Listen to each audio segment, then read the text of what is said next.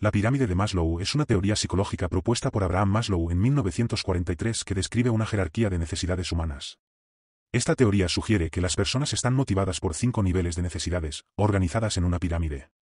Desde la base hasta la cima, estos niveles son Necesidades fisiológicas, son las necesidades básicas para la supervivencia, como alimentación, agua, aire, sueño y refugio.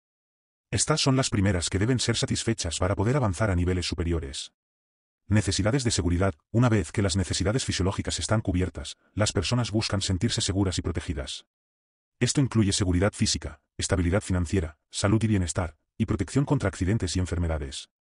Necesidades sociales, también conocidas como necesidades de amor y pertenencia, incluyen la necesidad de relaciones afectivas, amistad, amor y formar parte de un grupo social o comunidad.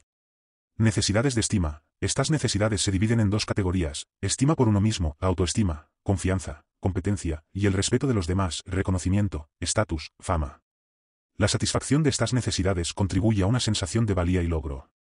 Necesidades de autorrealización. Este es el nivel más alto y se refiere al deseo de alcanzar el máximo potencial personal y creativo. Implica el desarrollo personal, el crecimiento y la realización de metas y aspiraciones. La pirámide de Maslow sugiere que las necesidades más básicas deben ser satisfechas antes de que las personas puedan enfocarse en necesidades superiores. Es una herramienta útil para entender la motivación humana y el desarrollo personal.